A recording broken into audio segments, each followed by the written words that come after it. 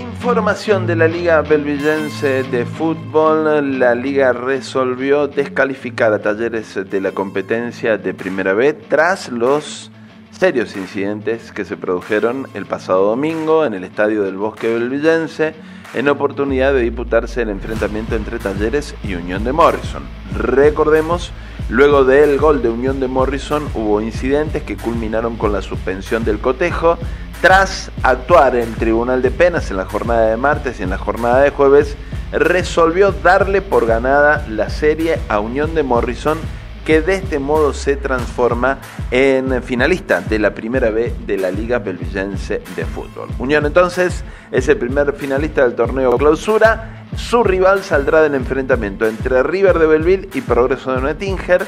Se ven las dos expectativa vinculada con el desarrollo de este compromiso que posteriormente va a deparar en la final un ganador para enfrentar al Uro en la búsqueda del ascenso. En lo que tiene que ver con la primera A, este domingo se enfrentan en Marco Juárez, Argentino y San Monteguay. En la ida empataron 2 a 2. El otro partido, Sarmiento de Leones, Argentino de Belville, que en la ida terminó con victoria de Sarmiento 1 a 0, disputar en la jornada de miércoles por los compromisos de Sarmiento en el torneo del interior. Lo más importante, la liga descalificó a Talleres del torneo clausura. Unión de Morrison es el primer finalista en la B.